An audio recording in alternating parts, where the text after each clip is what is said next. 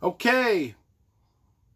I'm Brian Lee Durfee, author of The Forgetting Moon, The Blackest Heart, and The Lonesome Crown.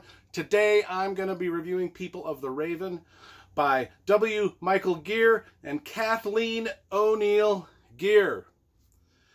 Now, I have been following these two writers, their science fiction careers, since the early 90s. You know, I've got all of Michael Gear's science fiction books. I've got Kathleen O'Neal Gear's science fiction books all published by DAW. They are fantastic science fiction books. And I've met these guys. I've got the book signed, you know, I always show you the signed books whenever I get, whenever I meet my favorite authors and I get my book signed, I, I show them off here on the channel. So here's the Michael Gear ones. So, they write their science fiction books separately. However, when they do their People of the Raven, People of the Wolf series, their Native American ancient history series, you can see here there's all the people books, you know, People of the Wolf, People of the Fire, People of the Earth, People of the River. I don't know if you can see those, but they've done a ton of them and they collaborate on the on that series. Never read any of them. Never read any of them. In fact, the last book signing I went to where I where I talked to these guys was in 2004, and they were mentioning this very book that they were working on. So I thought, I, if I'm going to start on one of the books, I'm going to start on this book. You know, People of the Raven. It's about Native Americans from 9,000 years ago. Let's look at the cover. We always look at the covers. I mean, this is a great cover painting by Louis, Luis Royo. Luis Royo did a lot of the fantasy paintings back in the 80s and 90s. He's a great cover artist. Take a look at this great Native American scene, but what do you notice that's different here? We've got this Native American man, and then we've got this Irish, beautiful Irish red-haired girl, a Caucasian girl. 9,000 years ago in America? Well, how did that happen? So when I went to their book signing in Salt Lake City in 2004, they were talking about working on this book, about how they were working on a book about Caucasian people that actually lived in the Americas 9,000 years ago. Now, that doesn't jive with the history you've been taught, right? The history you've been taught is the Native American people migrated from, uh, you know, Siberia, from, you know, China, Siberia, up through the Alaskan Peninsula, and then down into you know, Canada, America, South America, clear down to the tip of Argentina, right? That's what you've that's what you've heard. And there were no there were no white people until the Vikings came over, you know, or the Christopher Columbus came over. Well, no, that's not true. That's not true. This book is unique in that it is about the Caucasian people that were known to live on the American continent 9,000 years ago. How do we know that Caucasian people lived on the American continent 9,000 years ago?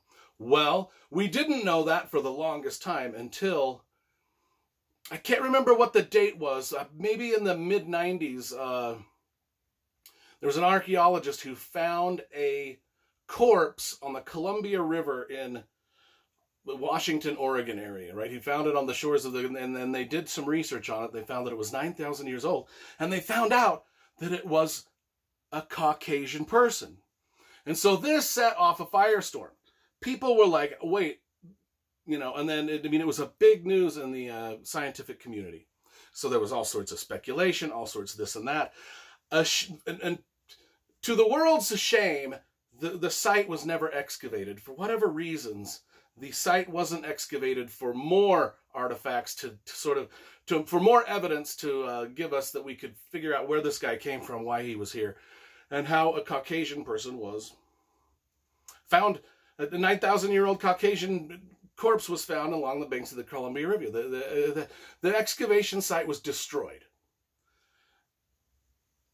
And then the Native Amer every Native American tribe was like, no, this this is this is our property. This is our property. The Catholic Church was like, no, it's ours.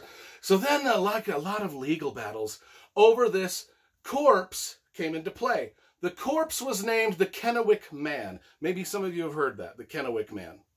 That's what the name of the corpse was. You can Google it. You can read the whole history of it. Kennewick Man. First evidence of Caucasian people in the Americas ever. And so, you know, the Gears decided they would write their um, uh, fictional account of maybe what, what, what was going on back then. You know, back then, you know, 9,000 years ago, it wasn't that soon. I mean, it was soon after the Ice Age. I mean, there was, the, the you know, the there was mastodons, you know, there were things like this were, were, were slowly dying out. The Native Americans at the time, it was a pretty crude existence, you know, just barely, barely getting by. And so this, this book starts out with a Native American tribe living in the Sandy, I think it's called the Sandy, Sandy Creek Village. And their leader is Rain Bear. And Rain Bear's just doing his normal thing, you know, with his tribe trying to survive. And then in comes this red-haired girl. So we've got Rain Bear, who's Native American, and then in comes this red-haired stranger with pale skin. And he's like, well, this is odd. You're different looking than the rest of us. And she's like, yes, I am a an escaped slave from my clan, kept me as a slave, and I just escaped. And they're chasing me. And they also all look like me. They are also all pale, pale of skin, this, that, and the other. And so now Rain Bear has to decide, okay, these people, we, I want to protect this girl, but I don't want my village to be attacked by these pale-faced, you know, demons, so that they're calling them. And so do we flee or do we fight? And that's kind of the setup of this story.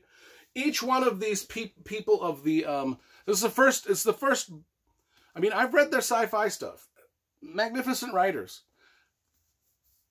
This, this is, this is bloody good fun stuff. I mean, if you want to read, and so what I've decided is, I enjoyed this one so much that they've got about 20 of them, and I'm probably going to go ahead and buy the rest of the series, 20 some odd People of the Earth books.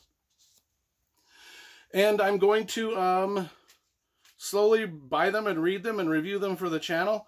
Um, the actual, the actual um, official title for the series is the first North Americans series. The first North Americans series. I read People of the Raven. They're all standalone novels as far as I can tell. And um, I'm going to go ahead and start buying them and collecting them. So go with the rest of my Kathleen O'Neal and Gear and my W. Michael Gear collection.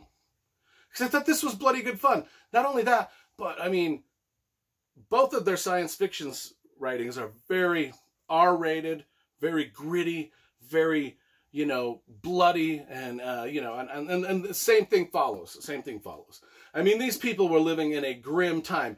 You do not want to be living in North American continent 9,000 years ago because it was not a pretty place. I mean, it was full of a lot of dark superstitions. And, and they really capture a lot of that here, a lot of the dark superstitions that these people had, and a lot of the ways, you know, that they used to torture each other. I was like reading some of this and going, oh my gosh, I, I didn't know you could, I didn't know you could torture someone like that boil rocks, get them, I put rocks in the, this is one of the ones that really got me, was they put the rocks in the fire, they slit open someone's belly, and then they put those hot glowing rocks inside their guts as they lived and sewed them back up. Oh my lord. Oh my lord. I wouldn't want that. I don't want I don't want boiling lava hot rocks sewn into my chest cavity. But man, I mean, these guys research their stuff. Every I, I have faith these guys are um, professional PhD uh, researchers of, of Native American history. I know that their history is spot on. I've talked to them about it. It's been years ago, but I've talked to them about it. They know what they're talking about. They know what they're writing.